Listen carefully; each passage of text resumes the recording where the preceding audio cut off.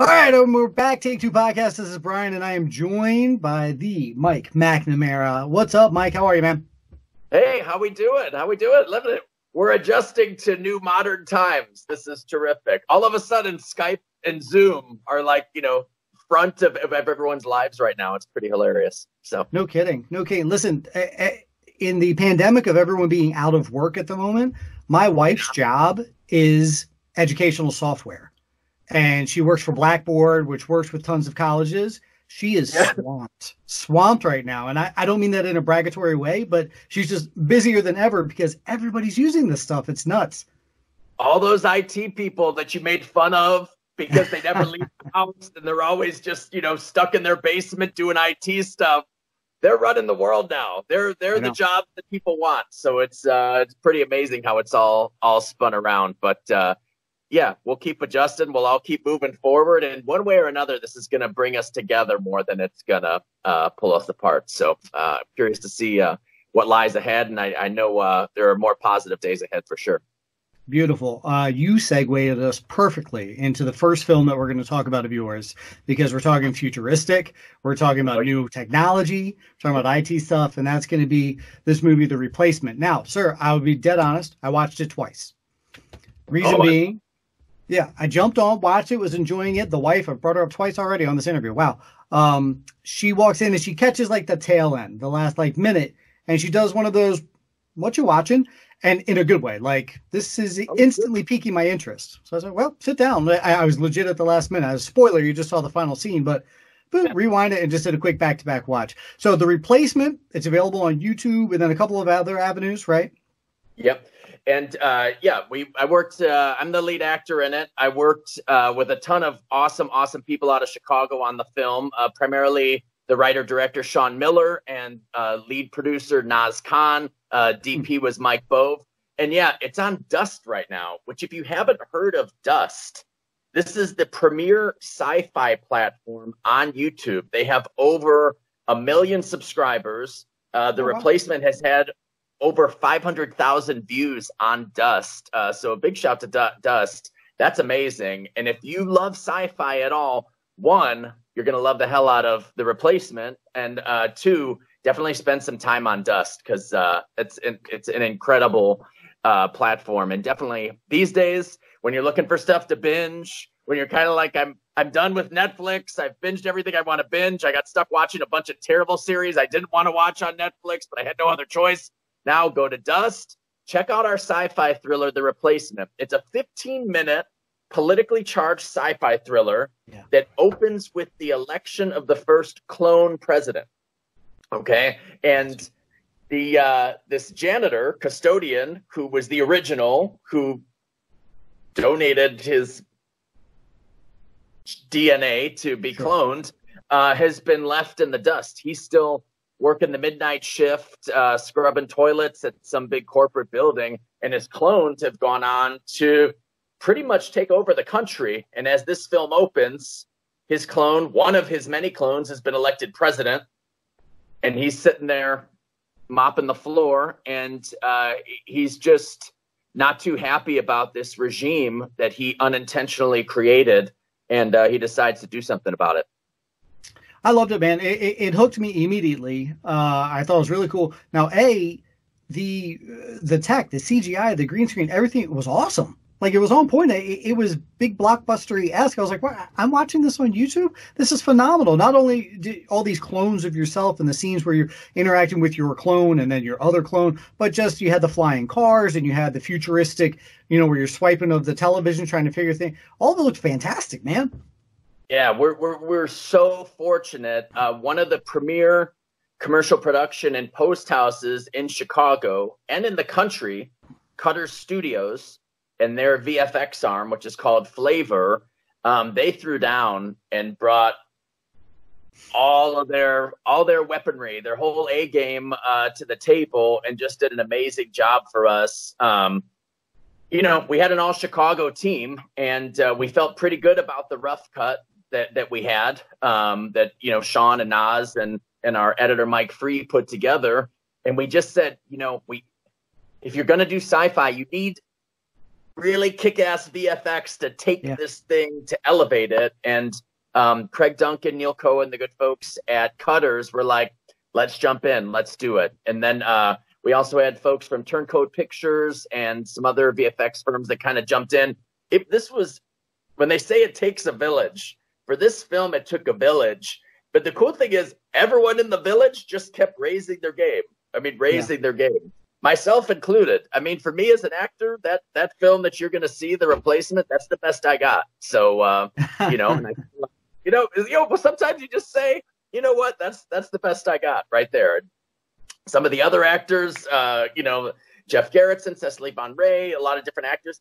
I think we all just kind of did our best work in this pressure cooker, and then our DP Mike Bove, uh, producer Naz Khan, just the locations that she put together, the cast and crew she put together, like everyone clicked at the right time and put this whole thing together. And uh, you know, we shot it in five straight overnights. Really? I don't know if you've ever done anything like that before. No, that's insane. So 6 p.m. to 6 a.m., five straight nights. And the first night was downtown Chicago on a Friday, like a Friday night. no kidding. like somehow our producer Khan like got us this big city block in one of the biggest cities in the world, and we're we're just there shooting all these outdoor scenes. And there's there's a huge concert across the street. There's a big fight at a club across the street at Nice. like two in the morning. wow. Some guy got stabbed. Oh, guy okay. Well, stabbed. Chicago. Yeah, and we're you know it's not like we're like okay guys, well I guess we got to shoot this tomorrow. I mean this is it, and the sun's coming up in two hours. You know we no kidding. we fought through and just what was crazy about shooting five straight nights overnights is you don't sleep for five straight nights Sure. and after the first you, you try to sleep but it doesn't work and, and, a- and a lot of our cast and crew they work on some of the big tv shows in chicago so they would work with us from 6 p.m to 6 a.m and then like sleep for an hour and then go to their other job oh wow. and Wow. then sleep for an hour or two and then come back to shoot. By the third day, fourth day, you're starting to lose your mind. Like I believe it. I pers- I was losing my I'm seeing like 3 of everything. The good news is it works pretty well for this film since Yeah. I'm playing a bunch of different characters and since we we shot everything pretty much in sequence. So Okay. um Abe, my character, the original, the whole his whole world is is really falling apart as the as the film progresses and he's trying to hold it together. He's trying to to fight through. But so as his world is falling apart, literally yeah.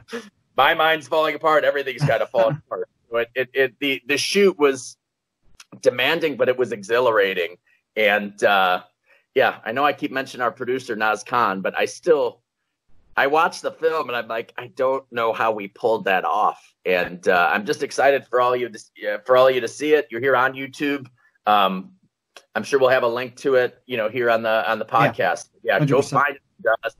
And uh, I think you guys are gonna. Lo- I think you're gonna love it, and uh, especially today. Especially today, it is. It, it's futuristic, and the future is is coming up pretty quick here. Your your exuberance and your excitement for it is well warranted because I, I can see like all the things you're just talking about. You're answering all like I- I was wondering if you filmed because original Abe is scruffy, not clean shaven, and then we also get president. So I was wondering like what sequence then you went in. So you did you play president, you play a janitor, you're a bartender, you're a SWAT team member, you're a addict member, and you know all sorts of Yeah. roles. And I was like, how much fun did this guy have? Filming it, and then now you get to do it in a week. So it's like boom, boom, boom. That that must have been a blast. It was so much fun. And I mean, again, the key was we had this team that was so on point. Like our production designer, Sarah Sharp, or even our script supervisor, Kelsey O'Brien, everyone was so on point that for me as an actor, Yeah. I was able to just look ahead, trust everything, see what's in front of me, and go. Because when you're literally in every scene, and in some cases you're in every scene and you're playing four different roles, you you don't have time to be like, oh, is this right? Is that right? Oh, did we set that correctly? Is that con-? you know what I mean? You just have to say everything's covered. Our production team is on point. Everybody's awesome. Okay, I just have to focus on literally this target that's in front of me because what's crazy is some of these scenes, especially uh, the bartender scene and a little bit of the prison scene. I'm our director Sean Miller. He allowed me to improvise a little bit. We had a really great vibe on set. Oh, well, nice. it's kind of crazy when you're improvising with yourself. That's right.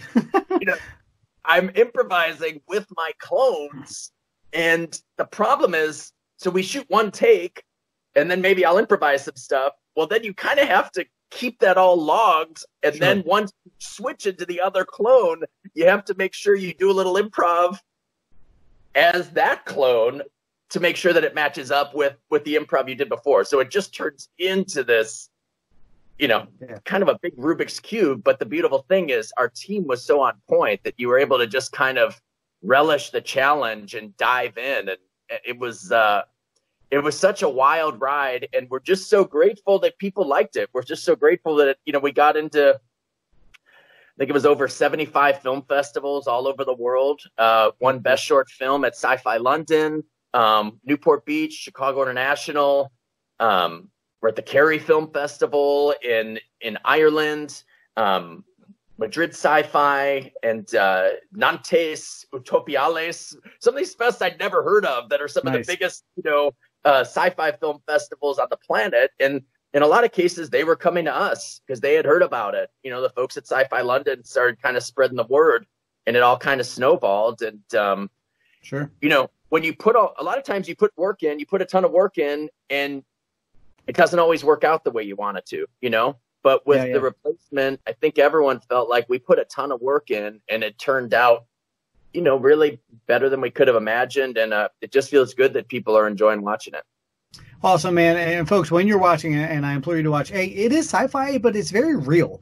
Like there wasn't times where I was like tripped out, you know, like, oh, this is an episode of Star Trek or Wars or whatever, where you just know you're in a sci-fi world. It felt very real. Everything is happening, and when you're watching Mike perform, buddy, you're you're physical man. You're like just the bartender scene alone. And I don't want to give a lot away of the film, but original Abe very, you know, shoulders shrunk over and slouched and very disheveled. But then bartender Abe has the guns yeah. out and is shaking and everything. And then when you go President Abe, just very straight back and very clean cut. I was like, this guy's nailing it just from head to toe, absolutely. Really well done. And the recognition you guys are getting is well deserved. I absolutely loved it. And folks, I'm going to put all the show notes and put the link to it, and you got to go check it out. I want to check it out on Dust, this Dust that you're telling me about as well. Because yeah. it sounds awesome. Sounds really cool. Uh, before and, I let you go, can you give us anything? I know you're hold up and you, and you got like nothing to do like everybody else. So any show recommendation? I think you need to. Uh, I think you need to find some comedy. I think you need some okay. comedy in your life. You, you know what? There's a short film that I love. It's a 10 minute short. It's really funny. You'll find it on Vimeo. It's called Craig's Pathetic Freakout. Okay. It's a 10 minute short. You need to go and laugh. Go okay. see that short and just go laugh your ass off. And uh, okay. yeah, other than that, I would. Um, there's another thing called Open TV. If you go to otv.com, they have uh, some, you know, really great diverse programming. Some like super snackable six minute episode kind of web series that you won't see anywhere else. You, this is your chance to get beyond Netflix and sure. find some truly original content. So go to Open TV and then just go laugh your ass up and watch Craig's pathetic freakout. And then please dig into our sci-fi and uh, take 15 minutes and watch the replacement. I think you guys are going to love it. Mike, I got to get you on the show regularly as your own segment of like off the beaten path things. Like you just come in like we take care of the Netflix and all the mainstream stuff. You got to come on each and every week and just like, all right, here's on Open TV, here's on Dust what you should be watching this week, and then go watch the replacement after you're done. I got I got a whole I got a whole arsenal for you anytime. Beautiful. Mike Mike McNamara, folks, go check out the replacement, check out his whole catalog stuff, and the next time you got a big project, you're coming back on and we're gonna chat about it some more if that's all right. Would love to. Thanks so much for having me.